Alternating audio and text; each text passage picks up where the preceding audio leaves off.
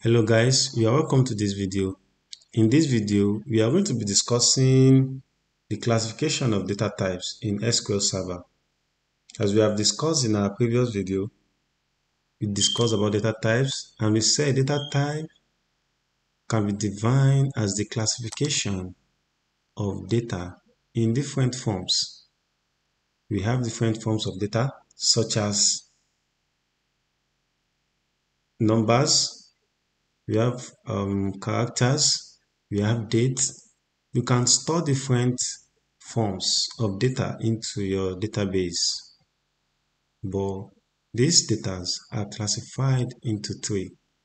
We have the numeric data type, we have the character data type, we have the date data type. So we are going to take it one, each one after the other the first one we are taking is the numeric data type. Numeric data types has different types also. the first one is the tiny int. Okay, the second one we have the small int. The third one we have the int. While the last one we have the big int. So these are the types of numeric data type that we have.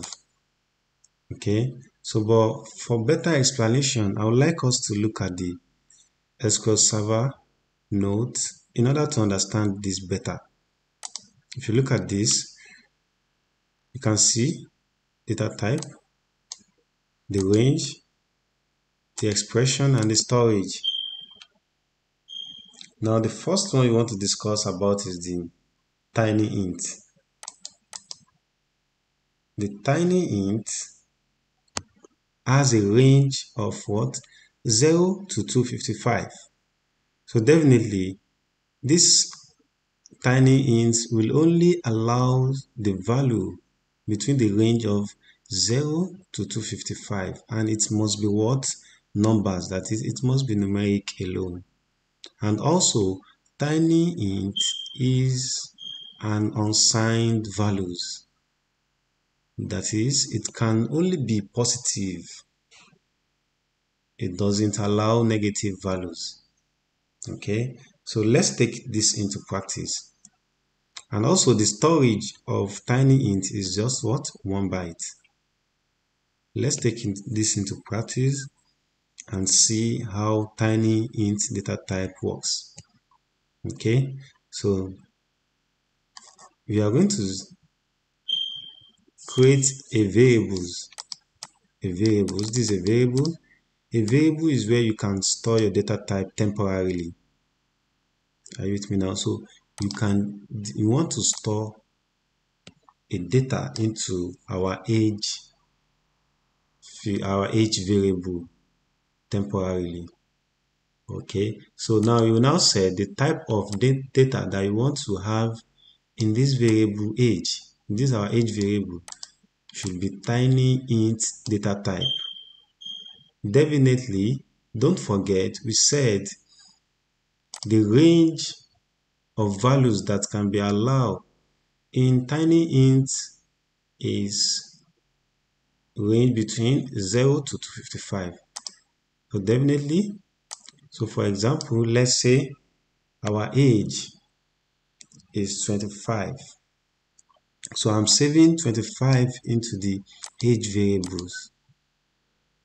So I'm now selecting the age variable by saying select age. So it's going to give me the value I have here which is 25 the value I saved into the variable which is what? 25 now I'm selecting it.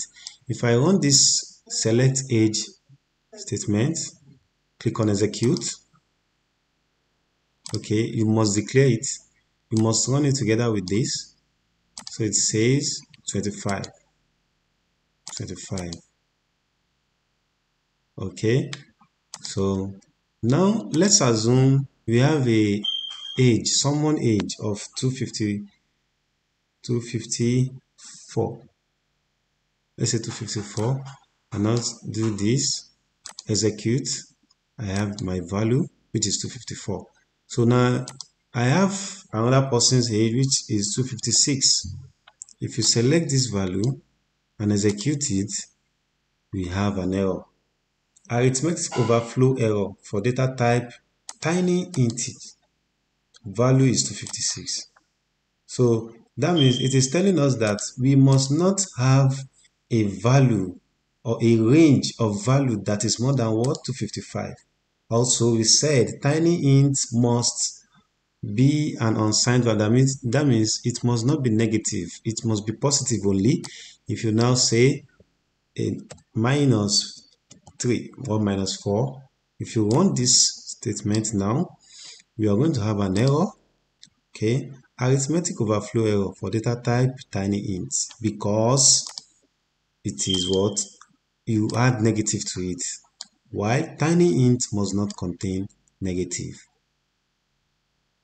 So in our next video, we are going to treat the small int, the integer, and the big int. Thank you.